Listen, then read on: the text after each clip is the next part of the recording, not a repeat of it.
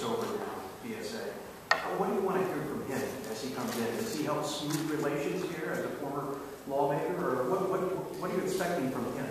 Well, let- me go first, as we just heard from David Goodman, uh, again, in, in the subcommittee, because he is now uh, the Director of Commerce. But, uh, so he- here's the, and then he went, you know, it, Department of Commerce does a lot of stuff, and so he, he went into all that. But when asked about this $525 million uh, that's zeroed out in his budget, the answer was, uh, it, you know, it went to JobsOhio. The question is, for what? How's it being used? How are those operations changing?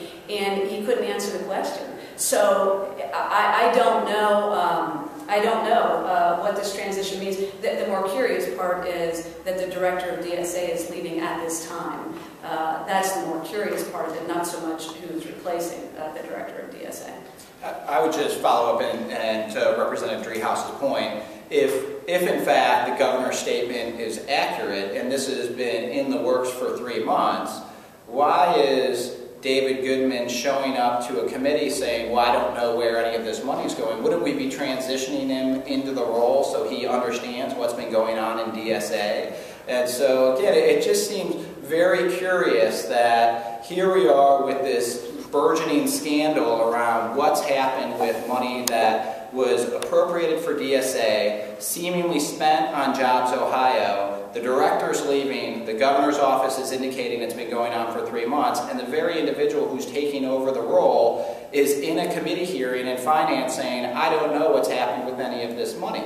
Not to mention the fact that Director Schmenk is the person who came forward on behalf of DSA to present the budget to the members of the General Assembly. If you're leaving, why are you the person coming over making this budget request? Wouldn't it make more sense to have whomever is going to be the new director come over to the General Assembly and say, I'm going to be the new director and these are going to be my priorities and that's what I need you to fund. It just does not make any sense to have someone coming over, present a budget, and walk out the door before we've even passed it out of the House, let alone have it go through the Senate.